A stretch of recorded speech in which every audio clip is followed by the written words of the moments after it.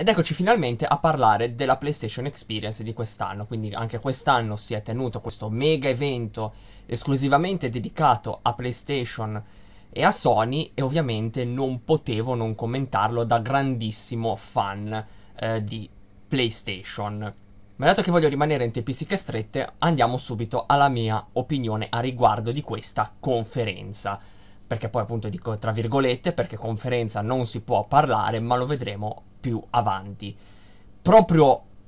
stringendo, stringendo, stringendo e dando dei numeri, delle percentuali, proprio per rendere molto più facile eh, il tutto, sono un 85% deluso da questa PlayStation Experience e un 15%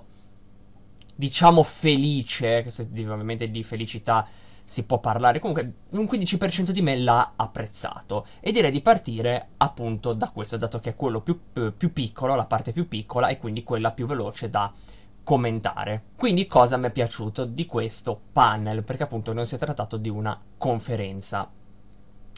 Mi è piaciuto perché è stato molto conclusivo il tutto. È la PlayStation Experience è l'ultima festa, l'ultimo evento eh, dell'anno di, per quanto riguarda i videogiochi, appunto siamo a metà dicembre, quindi eh, non penso ce ne siano altri, in, almeno in questo 2017. Eh, il prossimo si parla delle 3 di giugno 2018, quindi ci vuole ancora parecchio tempo, a meno che di sorprese nel mentre.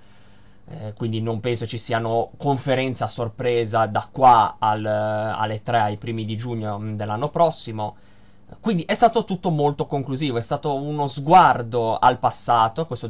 questo 2017 principalmente, l'avevamo visto da una intro secondo me molto bella, con appunto uno sguardo a giochi come del passato, se così si possono chiamare, come eh, Uncharted dell'eredità perduta, Niar, ehm,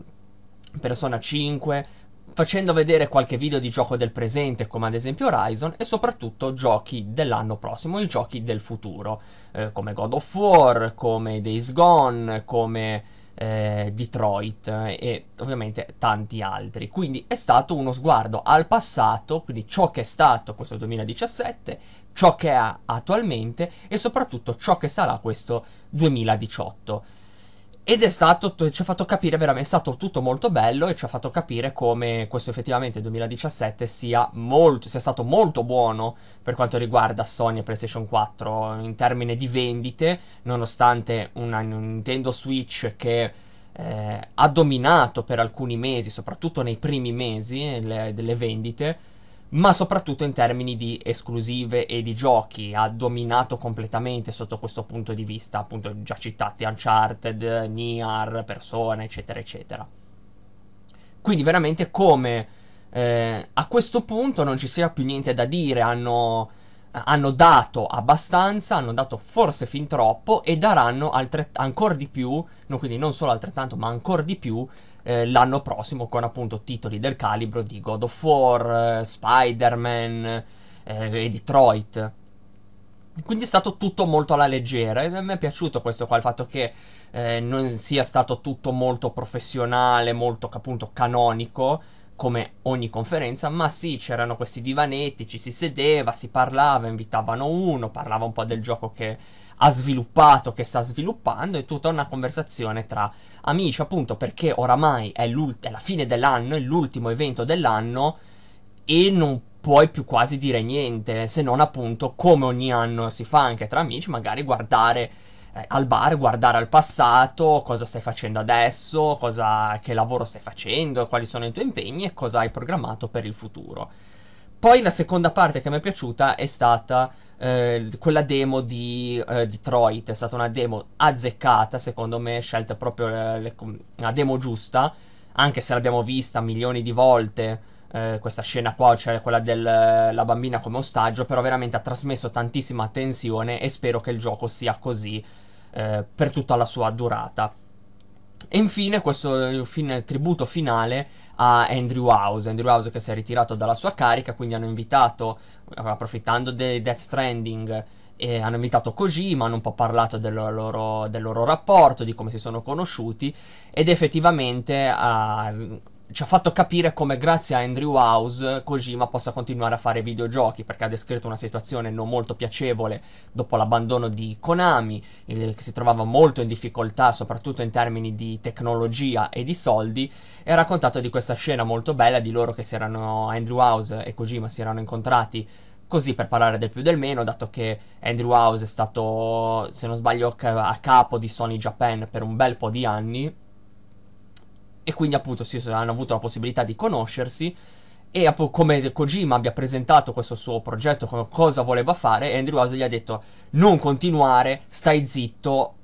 quanti, chiedi quanti soldi vuoi e noi te li diamo tutti. È stata secondo me una bella scena e ci ha fatto capire come grazie a Andrew House Kojima, non dico che appunto magari effettivamente abbia continuato a fare videogiochi, ma che Death Stranding al posto di metterci 5 anni da, uh, per uscire, magari ce ne avrebbe messi 10, 15, perché la tecnologia ovviamente non era a portata di mano. E quindi questa piccola parentesi mi è piaciuta. Poi c'è stato l'annuncio eh, di Medieval, quindi più contento di così, co- più di questo cosa si potrebbe chiedere. Mi hanno fatto uscire Crash Bandicoot, mi fanno uscire Medieval, se mi fanno uscire anche Ape Escape e Spiro, io posso buttare via tutte le console che ho, tutti i videogiochi che ho comprato e tenermi questi che po- posso morire felice. Ma adesso passiamo a questo 85%, questa grande fetta di me che non ha apprezzato eh, questa PlayStation Experience appunto già dal metodo, ovvero quello del panel, quindi non una conferenza vera e propria. Mentirei se dicessi che mi aspettavo proprio un panel, come tutti ci aspettavamo la conferenza canonica, come al classico E3 o come anche alla PlayStation Experience dell'anno scorso. Quindi mentirei se dicessi che era quello che mi aspettavo. E poi perché soprattutto per quanto abbia apprezzato questo eh, colloquialità, questo no, incontro di amici al bar, eh, effettivamente andando a stringere non abbiamo avuto niente da questo, cioè stringendo c'è il nulla, c'è l'unica notizia eh, che si è avuto è che God of War durerà 30-35 ore, proprio la notizia che, proprio vai a stringere solo questa e in quasi due ore è veramente il nulla eh, persone che eh, sono arrivate, hanno parlato, ma non potevano dire niente perché ovviamente hanno dei limiti. Eh, non hanno detto date di uscita, non si sono sbottonati su niente, da, a partire da quello di God of War. Eh, soprattutto quello di God of War si vedeva che tanto che non poteva dire niente di quello lì perché giustamente qualcuno dietro le sue spalle gli ha detto occhio non farti scappare niente eh, perché se no li linciavano sul posto. Quelli di uh, Media Molecule con Dreams che hanno detto: Ah, sì, il gioco uscirà, però non sappiamo quando. Uscirà una beta pubblica, però non possiamo dire quando.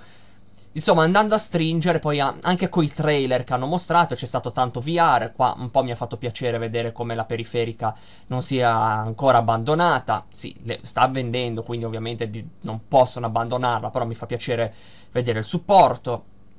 Però anche andando a stringere, Soul Calibur 6 è stato presentato il giorno prima, con peraltro mostrato lo stesso trailer. Eh, Monster Hunter World, visto e rivisto milioni di volte. Death Stranding, mm, non si è detto ma meno di niente se non appunto facendo rivedere anche qua il trailer eh, del giorno prima. Stiamo parlando di trailer mostrati il giorno prima ai Game Awards. E la Medieval, di cui sì, è in produzione, ma non si sa quando, non si sa come, non si sa il perché. Quindi appunto andando a stringere è stato il nulla. E appunto proprio su questo nulla è stato il grandissimo proble- problema di questa PlayStation Experience. Perché infatti questo nulla è stato trasmesso alle 5 del mattino, cioè io, stronzo io poi a essere rimasto sveglio a quell'ora, però l'hype che avevo a riguardo, non tanto per giochi nuovi che potrebbero annunciare come l'anno scorso, come in un E3, però mi aspettavo un paio di date di uscita, mi aspettavo una data di uscita di God of War, di Spider-Man, cioè comunque giochi che magari sì, qualche gioco nuovo me lo, me lo porti, però che mi dai un po' più di sostanza, ovvero God of War esce qua e Spider-Man esce lì, per fare ovviamente due esempi. Però appunto niente di tutto ciò è stato fatto, anche se usa anche tramite il metodo eh, del panel e dei panel successivi che si sono tenuti. Quindi assolutamente se mettiamo il fatto che st- sono stato sveglio fino alle 5 e tutto è finito quasi alle 7 del mattino,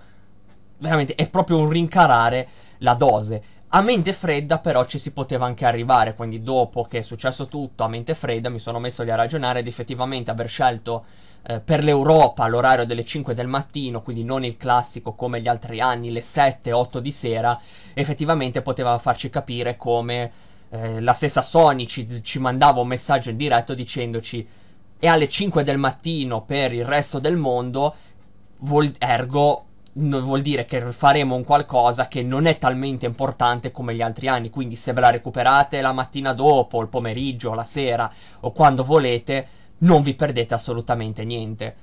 Però purtroppo questo messaggio non è stato recepito da nessuno. Avrei preferito che il giorno, anche il giorno prima, anche min- poche ore prima, avessero detto non facciamo una conferenza, ma facciamo un panel e mi sarei evitato tutto questo. Quindi assolutamente non tanto il metodo scelto quanto perché andando a stringere eh, Sony non ha portato assolutamente niente. E purtroppo questo secondo me già l'ho detto alle 3 il fatto che Sony abbia tenuto molto il freno a mano tirato nelle sue conferenze evidentemente perché ha subito tanto il colpo del,